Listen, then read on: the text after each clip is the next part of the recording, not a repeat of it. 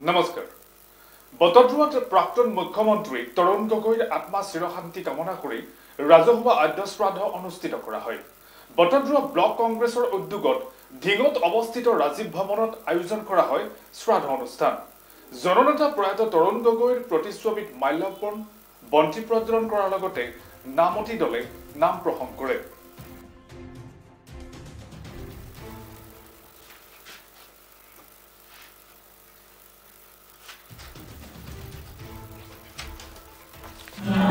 এনেদৰে বটদ্ৰৱাত প্ৰাক্তন মুখ্যমন্ত্ৰী তৰুণ গগৈৰ আত্মাৰ চিৰশান্তি কামনা কৰি ৰাজহুৱাভাৱে আদ্য শ্ৰাদ্ধ অনুষ্ঠিত কৰা হয়। বটদ্ৰৱা ব্লক কংগ্ৰেছৰ উদ্যোগত ঢিঙত অৱস্থিত ৰাজীৱ ভৱনত আয়োজন কৰা হয় এই শ্ৰাদ্ধ অনুষ্ঠান। জননেতা প্ৰয়াত তৰুণ গগৈৰ প্ৰতিচ্ছবিত মাল্যাৰ্পণ বন্তি প্ৰজ্বলন কৰাৰ লগতে নামতি দলে নাম প্ৰসংগ কৰা পৰিলক্ষিত হয়। মাংগলিক অনুষ্ঠানত উপস্থিত থাকে প্ৰাক্তন মন্ত্ৰী তথা অসম প্ৰদেশ কংগ্ৰেছ কমিটিৰ সাহাৰ্য আৰু পুনঃ সংস্থাপন বিভাগৰ অধ্যক্ষ গৌতম বৰা অসম প্ৰদেশ কংগ্ৰেছ কমিটিৰ সম্পাদিকা শিৱমণি বৰাৰ লগতে বহুকেইগৰাকী বিষয়ববীয়া সহস্ৰাধিক গুণমুগ্ধ।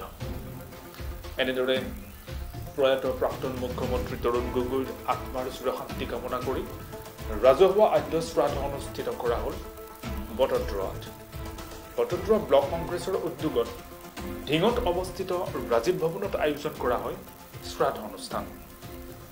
জননেতা প্ৰয়াত তৰুণ গগৈৰ প্ৰতিচ্ছবিত মাল্যাৰ্পণ বন্তি প্ৰজ্বলন কৰাৰ লগতে নাম প্ৰসংগ কৰা হয়।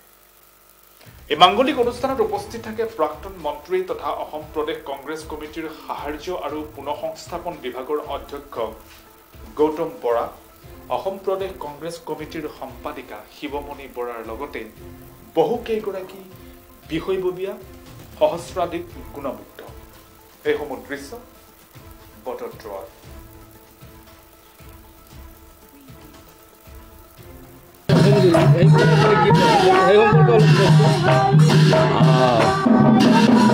প্ৰয়াত মুখ্যমন্ত্ৰী তৰুণ গগৈ ডাঙৰীয়া।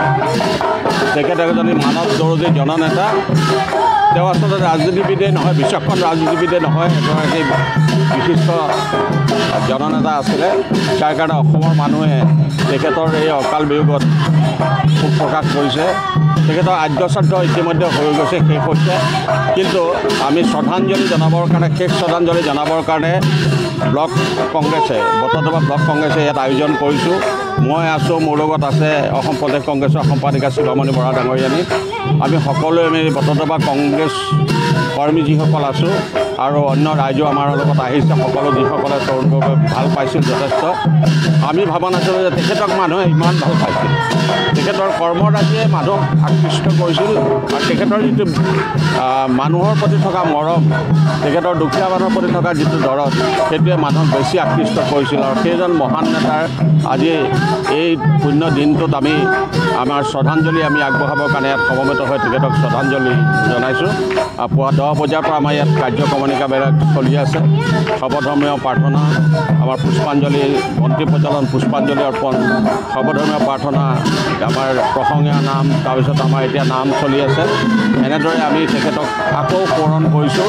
তেখেত যাতে আমাৰ মাজত তেখেতৰ বিদেহী আত্মা যাতে আকৌ থাকে আমাৰ মাজত যাতে তেখেতে থাকি আমাক সকলো দিহা পৰামৰ্শৰে ওপৰৰ পৰাই তেখেতৰ যিখিনি আদৰ্শ সেই আদৰ্শৰাজিয়ে যাতে আমি আগুৱাই যাব পাৰোঁ তাৰ কাৰণে আমাক প্ৰেৰণা দিয়ে আশীৰ্বাদ দিয়ে সেইটোৱে আমি কামনা কৰিছোঁ। আমি আজি গগৈদেৱৰ আদ্যশ্ৰাদ্ধটো ভাগটো আমাৰ বটদ্ৰৱা ব্লক কংগ্ৰেছৰ উদ্যোগত আ- আয়োজন কৰা হৈছে ইয়াত আমাৰ সকলো অকল কংগ্ৰেছ প্ৰেমী ৰাইজেই নহয় আপোনালোকে দেখিছে বিভিন্ন ঠাইৰ পৰা বিভিন্ন সকলো পৰ্যায়ৰ মানুহবিলাক আহিছে তেওঁক শ্ৰদ্ধাঞ্জলি জ্ঞাপন কৰিবলৈ আমি আজি দেখিছে আপোনালোকে তেখেত মৰিও অমৰ হৈ গৈছে আমি তেওঁক চালে এনেকুৱা লাগে মুখখন হাঁহি থকা মুখখন আমাৰ মাজত নাই আছে কিন্তু অলপ পিছতে ভাৱ হয় ক'ত গ'ল মানুহজন গতিকে আমাৰ মনৰ পৰা এতিয়াও তেওঁ জীৱিত হৈছে আমাৰ অন্তৰত তেওঁ এতিয়াও আছে। গতিকে আমি ভাবিছোঁ তেওঁৰ আদৰ্শখিনি আমি জীয়াই ৰাখিব লাগিব। তেওঁ অকল ৰাজনীতিবিদ বুলিয়ে নহয় এজন মানৱ দৰদী মানুহ। তেওঁ আমাৰ অসমখনৰ কাৰণে বহুত দি গ'ল। অসমখনৰ কাৰণে নহয় ভাৰতবৰ্ষৰ কাৰণেই দি গ'ল। গতিকে আমি তেখেতক জীয়াই ৰাখিবৰ কাৰণে এটা আজি আদ্য চাদৰ দিনটোত তেওঁলোকক তেওঁক শ্ৰদ্ধাঞ্জলি জ্ঞাপন কৰি এটা সামান্য প্ৰচেষ্টা লৈছোঁ যাতে তেওঁৰ আদৰ্শৰে আমি অনুপ্ৰাণিত হৈ আমি সকলোবোৰ আগবাঢ়ি যাব পাৰোঁ। ইমানেই।